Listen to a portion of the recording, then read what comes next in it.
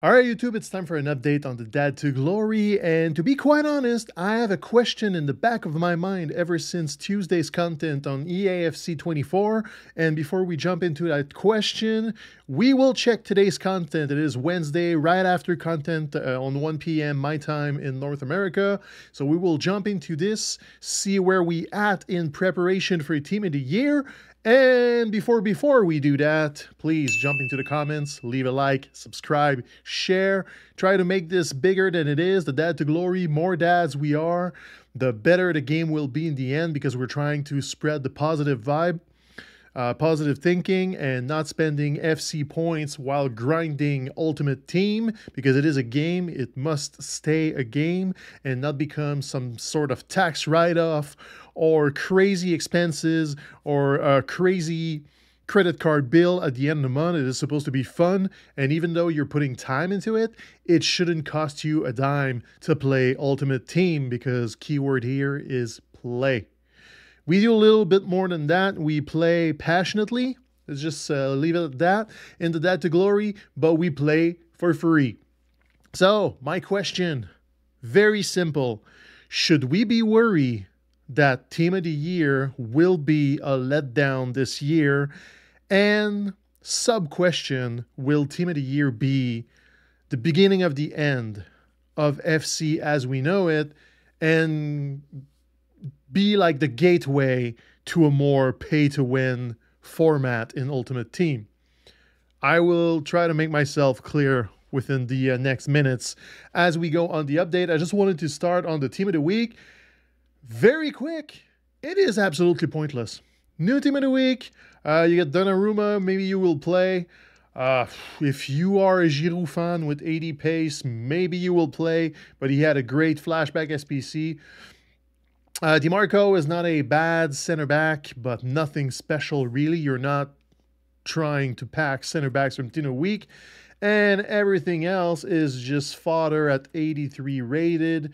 Uh, some of those are probably uh, from silvers, and there's Højlund, who I believe is a could be a fun card, but you know, that's team of the week. That's Wednesday's content, and I'm recording this without even knowing what's in content today because I'm expecting some sort of uh, coin fodder, a coin, coin like a suck machine for your coins from EA in the SBC's department to go on top of the 87 radioactive, the 86 Euro, UEFA Euro players. Those two you shouldn't do at all costs. They are only there to drain you of your fodder before Team of the Year.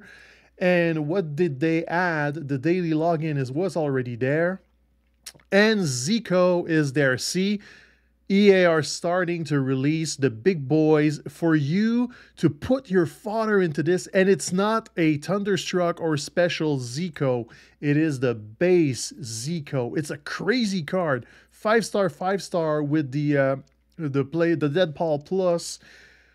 It's probably one of the best cam in the game but it is the base version of Zico, so no special card. Uh, three days away from Team of the Year, and it's going to be around 1 mil in fodder, a little bit more. The 89 rated squads are hard to do. So that's the big new thing for Wednesday, as well as the repeating 85 plus. The 83 times 5 attacker from yesterday, we will come back to this. I have some thoughts about it. The 83 10s are coming back. And now they put the uh, midfielders as well daily bronze, daily gold, daily silvers. You do this all the time. And basically, that's what content was for today. And that will lead me to my next point, which is why we should be worried before Team of the Year. And I'll tell you why. It's because of the prices of SBCs. First, let me just check the midfielder upgrade. Should you do these for Team of the Year? This one is all right. 83 times 5 for an 84 rated squad. Yes, you are losing rating, and there are a lot of 83 plus midfielders. But at least this one doesn't require an 87 rated player. And this is where it was completely shameful from EA. Where is it? Where is it? Where is it? He I didn't do any of them by the way, so the 83 times 5 attacker. You have an 84 rated squad with an 87 player. So that means you need to put 187 or, or above, uh, three or four 84s and the rest 83s to get an 84 rated squads for five 83 plus cards. And rest assured, you will pack four 83s and maybe one card over. So you absolutely lose on value unless you pack a team of the year, which is highly unlikely. And let me stretch that. Highly, highly unlikely that you will pack a team of the year, even though those packs are advertised as your best chance to do so. Why? Because the pack weight has been absolutely crazy this year. Just think to yourself, when's the last time you packed a good promo card?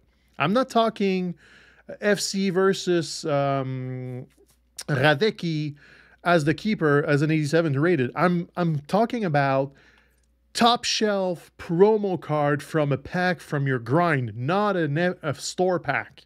So prime gold players pack, 83 times 10, 83 times 20, 84 times 5, whatever the packs you choose.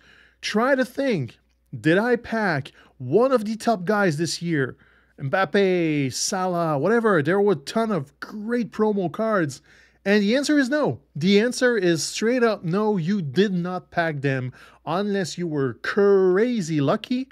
I didn't pack any of those, that's for sure. My best pull this year is Team of the Week Henson, and she was from a Team of the Week upgrade. Not a pack, not a regular thing pack. So, the problem with this is Team of the Year, it's only top shelf. Only top shelf. The worst team of the year are going to be either one of the defenders or one of the center mids, uh, maybe in the women's side. I'm trying to stay uh, spoiler free, by the way. I'm not going to tell you names. I've seen the two squads, so uh, I know, but I'm not going to mention names. So everything else is top shelf. The, t- the team of the year icon squad is going to be top shelf as well. So it is a full squad of players that are going to be unpackable. So these upgrade packs, it's gold fodder. Gold fodder, gold fodder, gold fodder, and Team of the Weeks. That's it. That's all you're going to get. And maybe if we get Team of the Year nominees, that's what you're going to pack with those. Straight up. So p- spending an 87 rated player plus an 84 rated squad for five cards, it is mental, mental, mental, and it's EA sending us a clear signal that this year, if you want Team of the Year, you better jump into the store and buy these absolute bank robbery packs. Look at this 100 rare gold players item rated 82 or higher, plus 1087 rated higher. The cost of this is $40. 40 freaking dollars Canadian. That's what, 25 euros, 30 euros, I don't know, or 600,000 coins. So if you're um, a trader, it's a lot of coins for anybody. Even if you have millions, that is a lot of coins for untradeable gold cards with the off chance of packing a team of the year. And even so, these packs will never guarantee a team of the year. These are the lottery tickets you buy with a big price tag with the hopes of maybe getting the below 1% card you can pack. So, to my point, should we be worried? The answer is yes. Because right now, the League SBC grind is working, but it is kind of slow you get a lot of untradeable fodder from the season objectives and everything, but season is going on for another week. It's gonna end close to the full release of Team of the Year. There's a prospective calendar of Team of the Year, and it's supposed to be like last year. So three days attacking, three days midfielders, defenders, and then uh, you have a full squad with a icon squad and maybe nominees. We don't know about nominees. So you get these little SBCs beforehand. We had Thierry Henry and Zico, both base versions, so no special cards. We are four months into the game. Base icon are starting to get old. Like promo cards will be better than those two, and these are still very expensive. So maybe I'll go for Zico. I don't know.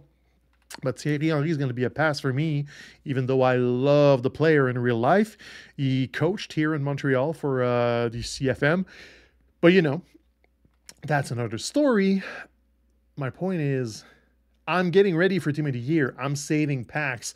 I have a bunch of packs ready to go. I have 150 packs ready to go. And close to 150 i will get over 150 packs and those are all prime gold players pack and anything 83 plus but i am well aware that all my 83 pluses packs are going to be that 83 rated cards i'm just going to use them as fodder to recycle and do something else so that is the point of this we're wednesday two days before the full start of team of the year and i don't feel hyped i am ready I want to do it.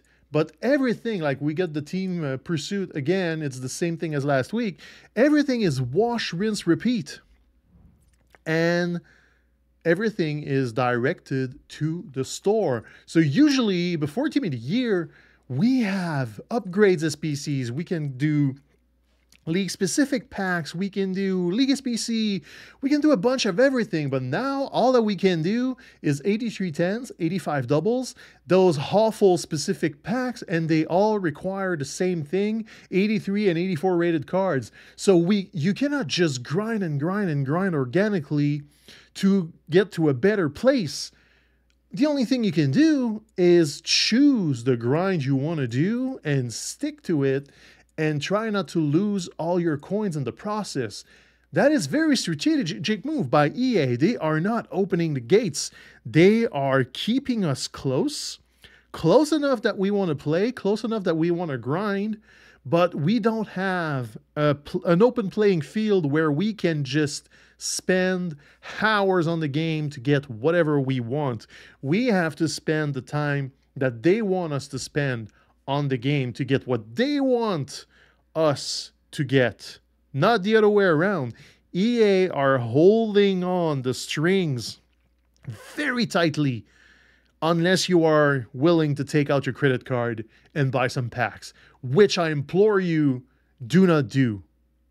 Do not do. Don't let EA win. Send a strong signal that we want to play the game. We don't mind spending hours within the game ecosystem. We just don't want to spend more money. They do enough as it is. It's a billion dollar company. They don't need more money.